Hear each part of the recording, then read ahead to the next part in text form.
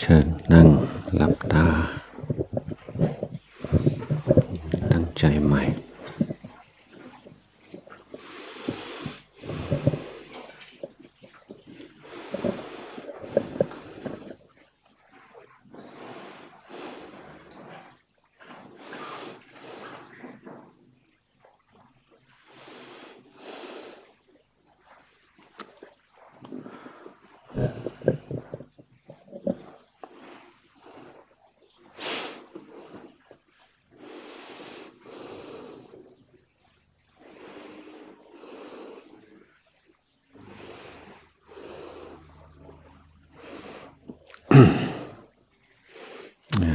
เราทำต่อจากเมื่อเช้านี้ด้วยการฝึกสติกับลมหายใจด้วยดูการความรู้สึกในกายในส่วนต่างๆ การแปลงกายออกเป็นสีส่วน ดูความรู้สึกในส่วนที่หนึ่งที่สองที่สามที่สี่แล้วก็ร่างกายทั้งหมดแล้วก็กลับ ส่วนที่สี่ที่สามที่สองที่หนึ่งแล้วก็ร่างกายทั้งหมด เหมือนเป็นการวอร์มัพหลังจากนั้นจึงให้จิตกำหนดลมหายใจณจุดใดจุดหนึ่งในกาย เช่นที่ปลายจมูกเป็นต้น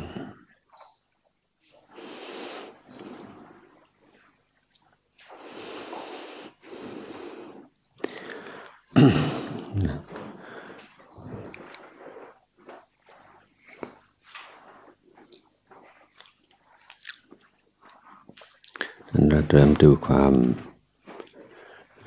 รู้สึกในศีรษะใบหน้าคอ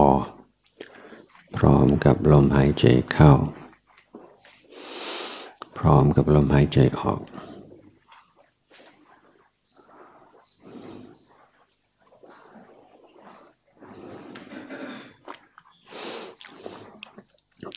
ตั้งตัวรู้ขึ้นมาหรือว่ามีอะไรเกิดขึ้นอยู่ในบริเวณนั้น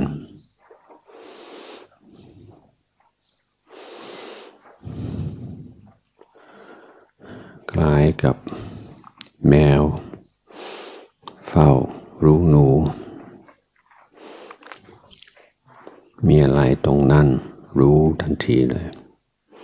หายใจเข้า หายใจออก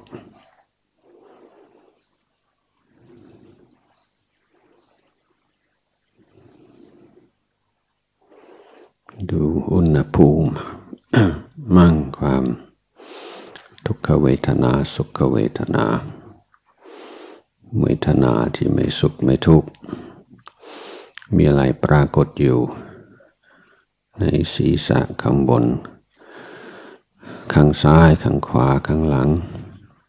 ใบหน้า หน้าผาก ตา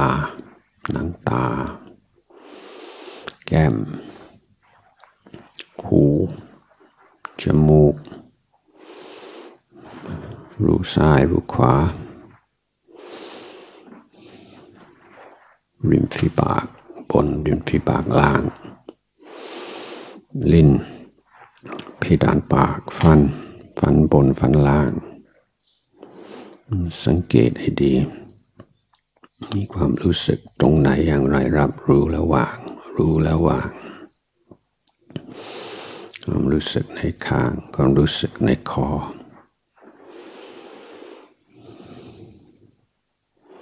หายใจเข้าหายใจออก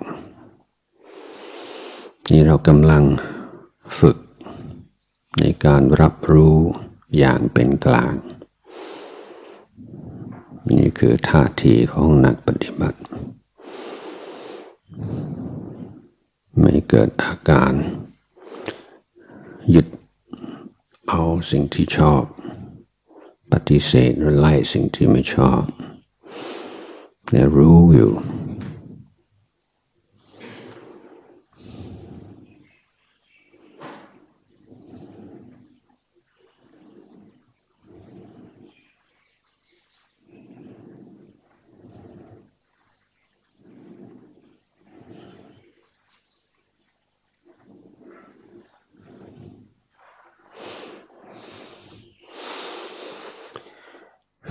ส่วนที่สอง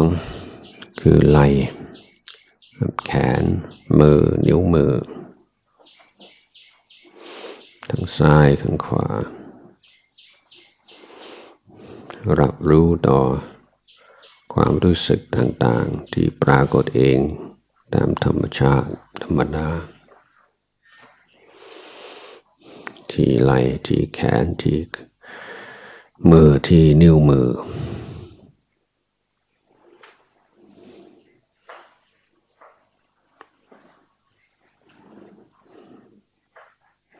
จะเป็นความร้อน ความเย็น ความเต้นของเส้นเลือดอะไรก็แล้วแต่ รู้แล้ววาง รู้แล้ววาง ให้จิตเป็นกลาง รู้อย่างกลาง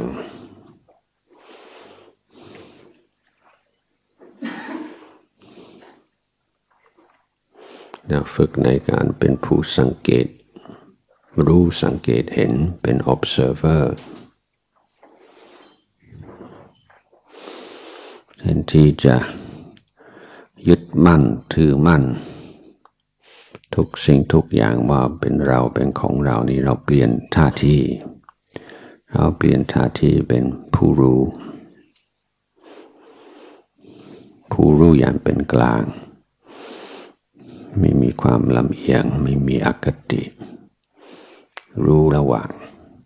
หายใจเข้า รู้ระหว่างหายใจออก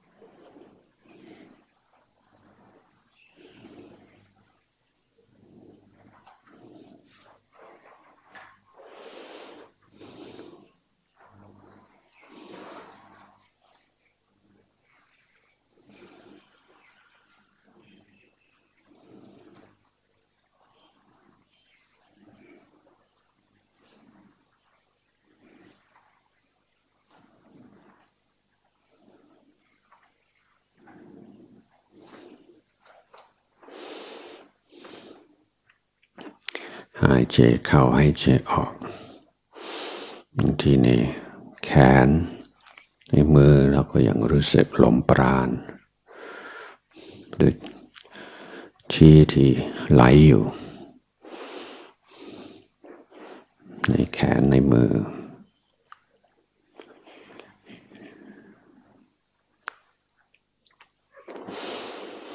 ส่วนที่สามคือลำตัว ใจเข้าหายใจออก หายใจเข้า ก็มีอาการพอง หน้าอกก็พอง รู้สึก รู้สึกต่อกระดูก อาการหายใจเข้า ก็มีความกดดัน ที่มีความกดกระดูก กระดูกสีโครงเป็นต้น หายใจออกก็ยุบ สังเกตอาการพอง สังเกตอาการยุบ ที่หน้าอกที่ท้อง สังเกตความรู้สึกในหลัง กระดูกสันหลังตั้งแต่ต้นคอ ตลอดถึงก้นกบ หายใจเข้าไม่รู้สึกไหมกระดูกสันหลัง รู้สึกส่วนไหนอย่างไร เป็นความรู้สึกอย่างไร ไม่ใช่นึกภาพเอา เอาแต่ความรู้สึกที่ปรากฏอยู่ นี่คือการมาศึกษา โลกที่เป็นจริง ไม่ใช่โลกในความฝัน โลกในความต้องการ โลกแห่งกิเลส เป็นโลกที่เป็นจริงอยู่ในปัจจุบัน โลกแห่งความรู้สึก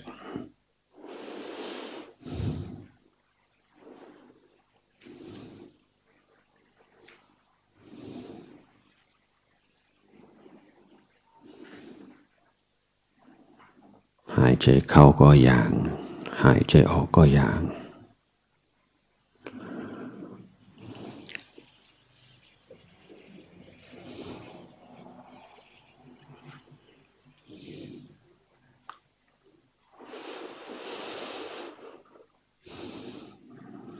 ส่วนที่สี่ร่างกายเชิงล่างตั้งแต่ตะโพกลงไปถึงนิ้วเท้า ใจเข้าหายใจออก เราเป็นผู้สังเกตการ เราเป็น observer เป็นผู้รู้ ผู้รู้ต้องไม่ปล่อยให้จิตเกิดความชอบความไม่ชอบ ความหลงไหลความปฏิเสธ แต่ฝึกให้รู้ระหว่าง สังเกตความรู้สึกที่ตะโพกนี่ความรู้สึกที่กายสัมผัสกับพื้น มีความกด มีความร้อน อุณหภูมิต่างกับส่วนที่ไม่สัมผัสกับพื้นไหมดูความรู้สึกในหัวเขา่าในน่อง ข้อเท้า เท้า นิ้วเท้า หายใจเข้าเป็นอย่างไร หายใจออกเป็นอย่างไร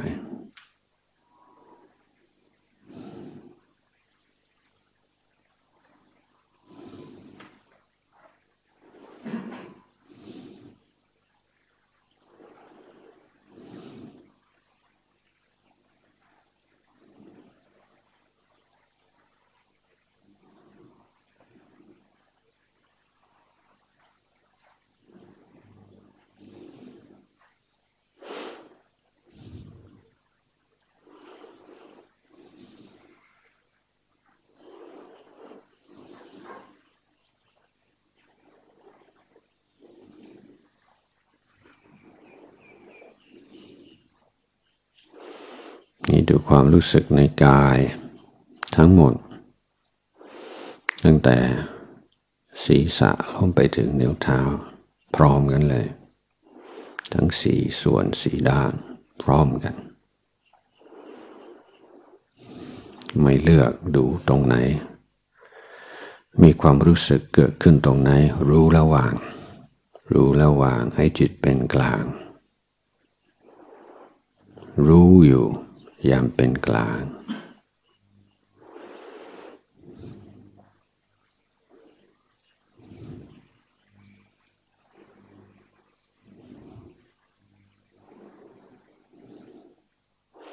นี่ก็มีความรู้สึกที่กายพองพร้อมกับลมหายใจเข้า แล้วจะรู้สึกเย็นที่ผิวที่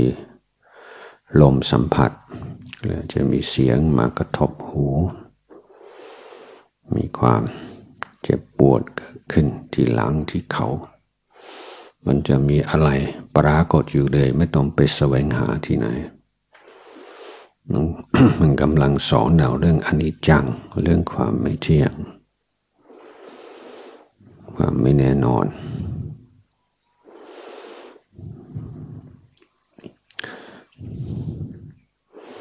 แม้แต่ลมหายใจเองเราไม่ใช่ผู้หายใจ ลมหายใจเข้าลมหายใจตามเรื่องของมัน ตามเรื่องของกาย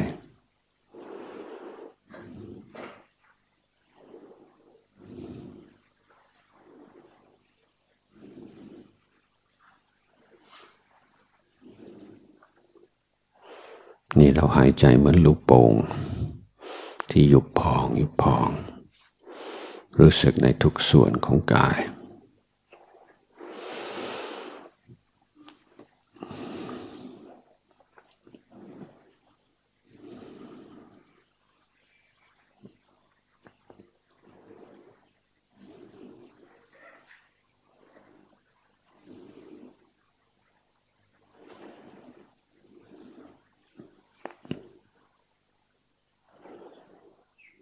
นี่เรากลับมาดูกายเฉพาะส่วนที่สี่คือกายเชิงล่างตั้งแต่ตะโพกลงไปถึงเท้า สังเกตรู้ อยู่กับอาการของกาย ที่ปรากฏแก่ผู้รู้หรือตัวรู้คือจิต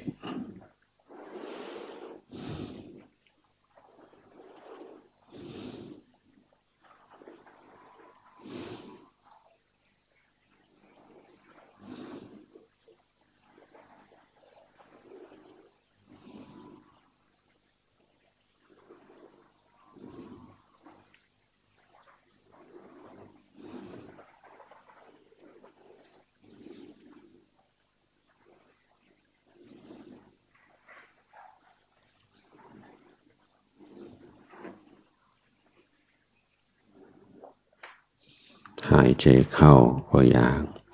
หายใจออกก็อยาก มีความเหมือนมีความไม่เหมือน เราสังเกต แต่ที่ไม่เปลี่ยนคือความเปลี่ยนนั่นเอง ความเกิดขึ้นดับไป ของความรู้สึกต่างๆถ้า ไปดูความรู้สึกในลำตัว หน้าอกท้อง หลัง กระดูกสันหลัง กระดูก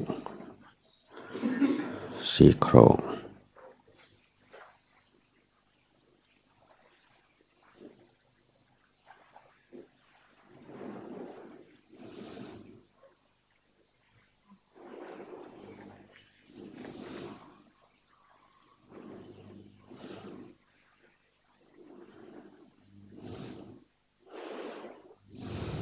รู้สึกใน ท้องเป็นยังไง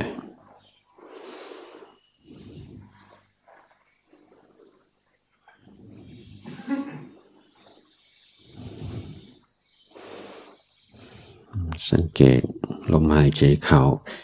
อาการของการพองมันเป็นอาการอย่างไร หายใจออกอาการของการยุบมีอาการอย่างไรบ้าง สังเกต ให้มันสนุกกับการเรียนรู้กับการสังเกต อาการที่ปรากฏ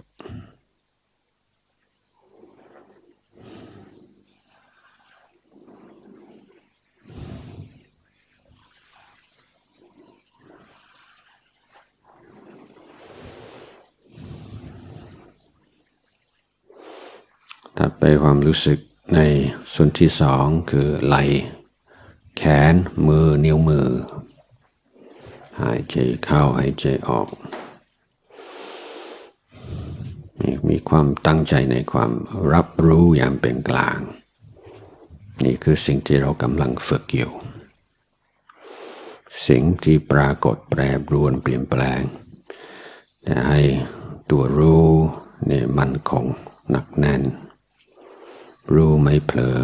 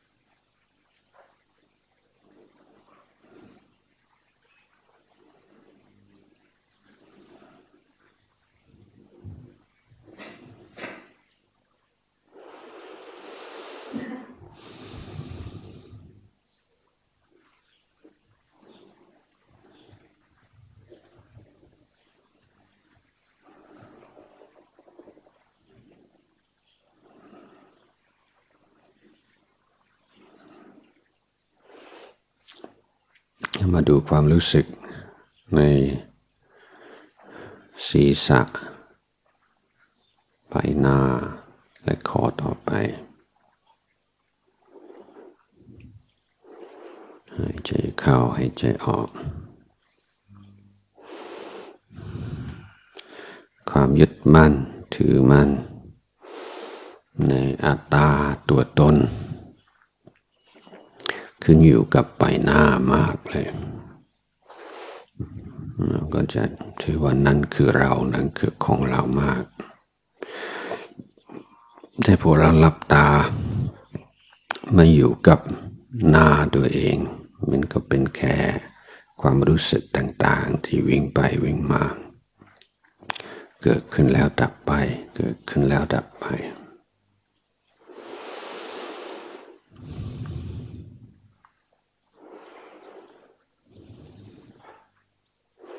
แต่ตัวเรามันอยู่ตรงไหน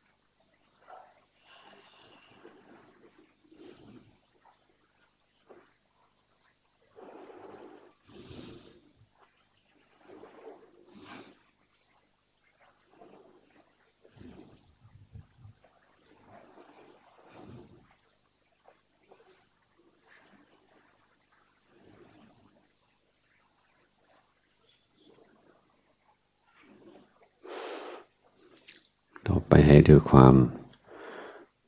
รู้สึกในกาย ตั้งแต่ศีรษะลงไปถึงเท้า ไม่เลือกส่วนใดส่วนหนึ่งของกาย หายใจเข้าหายใจออกเหมือนลูกโป่งที่มันพองมันยุบพองยุบ มันมีความรู้สึกต่างๆเกิดขึ้น เดี๋ยวเกิดที่ศีรษะ เดี๋ยวเกิดที่แขนที่มือ เดี๋ยวเกิดที่ลำตัว เดี๋ยวเกิดที่ขาที่เท้า ความรู้สึกมันปรากฏ ที่โน่นที่นี่เกิดขึ้นแล้วดับไป นั้นเราก็ดูหายใจเข้ามันมีความรู้สึกอะไรบ้างหลับรู้รับทราบโดยใจเป็นกลาง หายใจออกก็เช่นเดียวกัน เรากำลังทำความคุ้นเคยกับร่างกายของตัวเอง ไม่ใช่ร่างกายนี้ที่เราถ่ายภาพได้แต่ร่างกายที่เป็นจริง ที่เป็นประสบการณ์ตรงในปัจจุบัน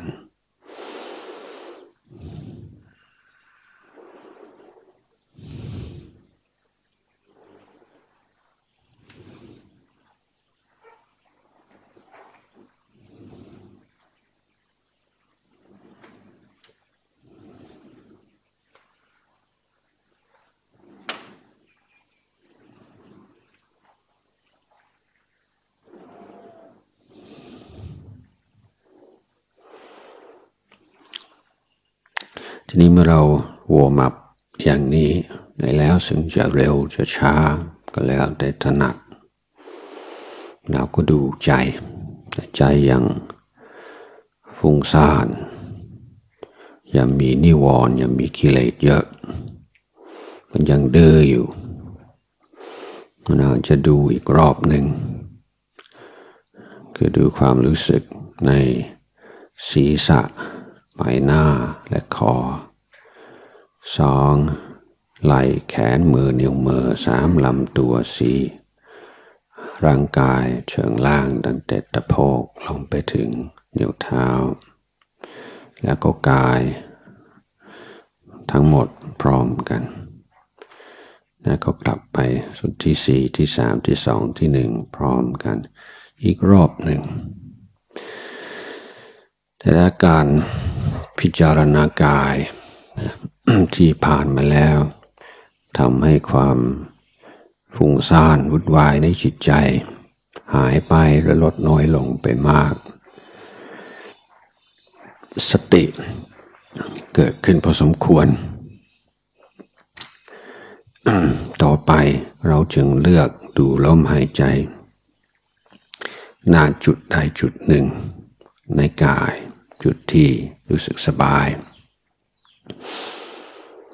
นักภาวนาส่วนมากส่วนใหญ่ จะชอบดูลมหายใจศึกษาลมหายใจ อยู่ที่ปลายจมูกหรือในรูจมูก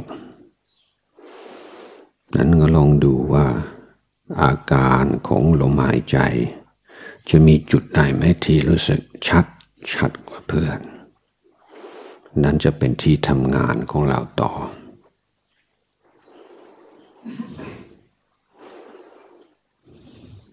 ถ้าไม่ชอบดูลมหายใจที่ปลายจมูก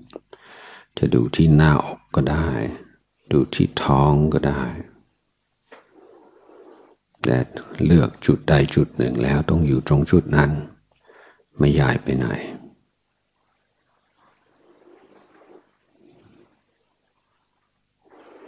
ทีนี้ต้องมีความพร้อมอยู่ เพราะว่าถ้าอยู่กับลมหายใจได้ อย่างมีสติลมจะเริ่มละเอียด นั้นเราก็ต้องเพิ่มสติให้ทัน ไม่นั้นจะหลง ถ้าภาวนาถึงขันหนึ่งจะดูเหมือนกับไม่มีลมหายใจเลย ซึ่งถ้านักปฏิบัติเจอครั้งแรกอาจจะตกใจกลัว ที่จริงก็เป็นแค่ความรู้สึกอย่างหนึ่ง ไม่อันตราย แต่ในเมื่อไม่มีลมหายใจ เรากำหนดอะไรเป็นอารมณ์ต่อไป เราให้จิตดูจิต จิตคือตัวรู้ เมื่อจิตไม่มีอะไรให้รู้ จิตก็รู้ตัวเอง จิตรู้จิต ทีนี้ความสงบก็จะยิ่งลึกเข้าไปอีกทำให้จิตใจมีพลังมาก พลังที่จะเกิดปัญญาต่อไป